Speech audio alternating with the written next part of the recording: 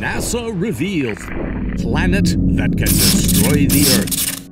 This is the end, and the day after tomorrow portray the end of the world, yet today we've brought you something far from these movies and close to reality. A planet that NASA believes exists and can destroy the Earth in the near future. So welcome back to another video where you'll explore something no one had told you before. Let's hop on to the details and learn the reality of this claimed planet. Chapter 1 What is this planet? If you were born in the 90s, then you already know that our solar system had nine planets sequentially Mercury, Venus, Earth, Mars, Jupiter, Saturn, Uranus, Neptune, and Pluto. Where Pluto was given the rank of a dwarf planet back in 2006, and we were left with only eight planets in our solar system. Although we have come far in learning about the solar system, the formation of different planets, and the life on these planets, but if I say that we are still far away from the things that actually reside in the solar system, then you might be surprised with my words. The numerous solar systems we have found in our galaxy do not have a fixed count of planets like our solar system, which has eight planets. There is a possibility that these neighboring solar systems might have uncountable super Earths in them. These super Earths are planets bigger than our planet Earth, yet more minor than the gas planets like Jupiter and Saturn. One super Earth can be more massive than Earth in size. However, the surprising thing is it's 1.7 times lesser radii than the Earth's radius. These super Earths are abundant and the most common type of planet in our galaxy, but we don't have an exact number of these super Earths. Is our solar system with eight planets home to a super Earth? My answer will be it's not revealed yet. Chapter 2 Then How Can It Destroy Earth? Well, your question is obvious. If Super Earth is not revealed in our solar system yet, then how can it destroy Earth? So that's where our actual story starts. There is no super Earth discovered in our solar system, but scientists and astronomers wish to have a super Earth so they can study its motion, interaction with other planets, its effect on our Earth, and the life upon it. This wish, coupled with the two significant gaps in our planetary existence. The first large gap lies between the sizes of the planets. Earth is a small terrestrial planet, while Neptune is a gas giant with a considerable distance between these two planets.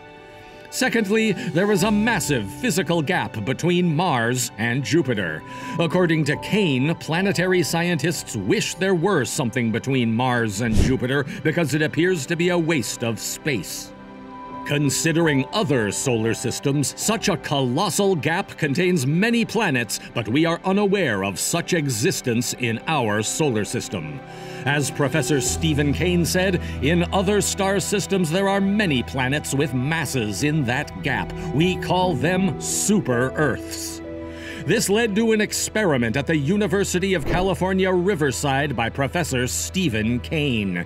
It is one of the most extreme approaches up till now to understand the history of our planets together with the super Earth. Chapter 3 What does the computer simulation by Stephen Kane demonstrate? The experiment involved making a new planet with a computer simulation. The actual purpose was to find how the presence of a super Earth in our solar system can affect Earth and other planets. The dynamic computer model by Professor Kane contains super Earth between the region of Mars and Jupiter. The planetary space around Jupiter currently holds an asteroid belt in reality. This is the region where Kane added the imaginary planet because he proposed that scientists wish for the existence of a planet between Mars and Jupiter. As referred to by Phaeton, the asteroids in the asteroid belt around Jupiter are actually remnants of a failed planet that was trying to form billions of years ago. Yet the scientists believe that the gravitational force of Jupiter smashed up the planet into many pieces, now floating as asteroids around it.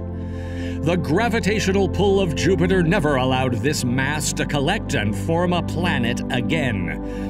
Yet, if you collect all the mass of these asteroids, it is less than 4% of the Earth's moon. Even today, the current structure of the asteroid belt is maintained with the gravitational pull of Jupiter. It prevents the asteroids from clumping together. Kane's computer simulation proposes that the existence of a super Earth in between Mars and Jupiter can destroy our solar system into pieces that will never be able to unite again. Even a little touch of this imaginary planet to Jupiter will cause unimaginable havoc in our solar system. This initiates a thought of thankfulness that we don't have such a world in our solar system, because otherwise there might have been an end already.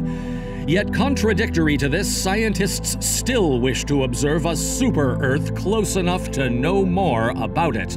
This may be considered selfishness of the scientists that they are ready to propose havoc in our solar system at the cost of studying that super Earth.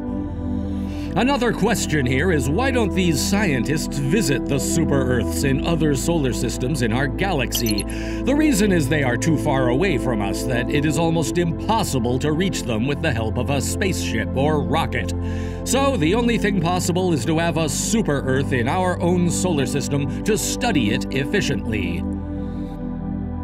Chapter 4 Can Super Earth destroy Earth? So back to the computer simulation. Depending on the mass and exact location of this imaginary super-Earth, it can interfere with the gravitational pull of the other planets in the solar system. First of all, it will more certainly affect the first four planets, but Saturn and Uranus will not be left unaffected by the effect of this planet. These planets will ultimately fly out of their orbit in space. Imagine Earth far away from the Sun with a freezing temperature. No life would be possible on such a cold planet, ultimately proving that the existence of a super Earth in our solar system can destroy life on Earth. Earth will ultimately be lost in interstellar space without any particular orbit. It will no longer orbit around the Sun. Also, there is a possibility that it might orbit around our galactic center.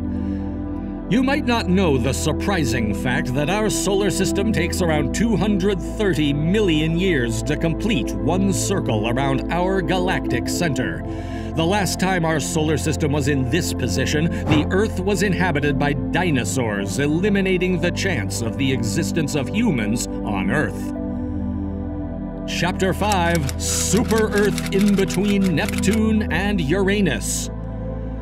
Despite the idea that the existence of a super Earth can destroy our solar system, there is a hypothetical belief by scientists of the existence of a planet beyond Neptune in our solar system. This planet originated in 2014 and is called Planet 9. When the astronomers Konstantin Batygin and Mike Brown at the California Institute of Technology noticed an unusual clustering in the orbits of some distant Kuiper Belt objects. The Kuiper Belt lies beyond Neptune and is a region where numerous icy objects reside. So, a new clustering of these objects in this belt suggested that something is being formed that was not known before. And a suggestion for this clustering is the formation of a new Planet 9, taking the place of Pluto. The exciting thing is the cluster appears to be massive enough and can affect the orbits of other planets in the solar system. Its estimated size is 10 times the size of Earth and is expected to orbit almost 20 times away from the Sun as compared to Neptune. Following this observation, many other scientists provided shreds of evidence that support the existence of this Planet 9. One of the pieces of evidence is the tilt of the solar system's plane relative to the plane of the Milky Way, the orbits of several other objects in the Kuiper Belt, and the alignment of other orbits. However, despite all these proofs, we cannot yet say that there's a definite existence of Planet 9 in our solar system. So, what's expected in the future? Even though NASA puts its effort and money into predicting what will happen in the future, there is no definite theory or understanding of whether there is a possibility of a super Earth in our solar system. Super Earths can be unpredictable and have multiple sizes and surfaces. Some super Earths may have surfaces like Earth, while others may have thicker atmospheres, just like gas giants. The features of super Earths help in proposing the existence of life on them. For example, a super Earth may have a thick atmosphere and a greenhouse effect. This proposes the existence of water and, ultimately, life on it.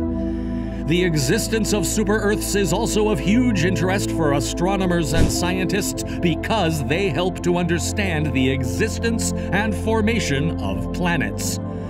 However, one thing is clear that if we happen to have such a world in our solar system, then we will no longer survive its effects.